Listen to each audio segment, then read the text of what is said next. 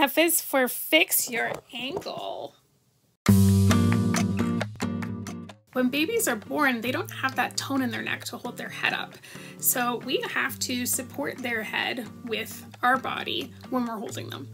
And while of course we don't want a baby's head to do this when we're holding them, we also don't want it to do this. When they're born, their airways are basically like a drinking straw. And because their heads carry about 30% of their body weight under age one, their heads are very top heavy.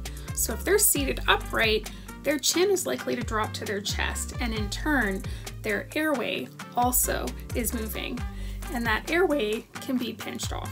And yes, we are going to address head slump in this series, so stay tuned for that. When you're installing a car seat for a newborn, it is especially important to have that car seat installed as reclined as allowed in the car seats user manual. So how am I going to know what that recline is?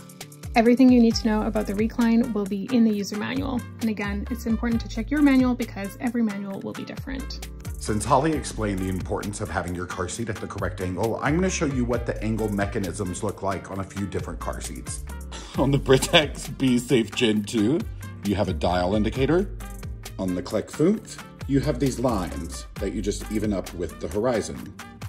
On the Britax Advocate, you have a rolling ball mechanism. On the Peg Perego Nido infant seat, you have a water bubble.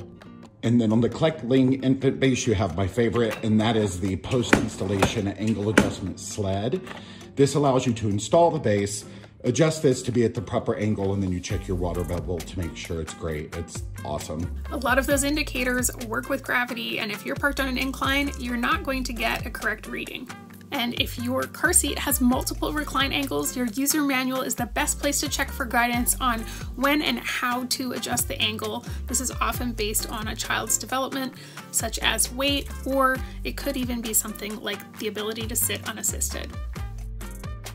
For more expert baby and toddler safety tips, follow the Jamie Grayson and Safe Beginnings.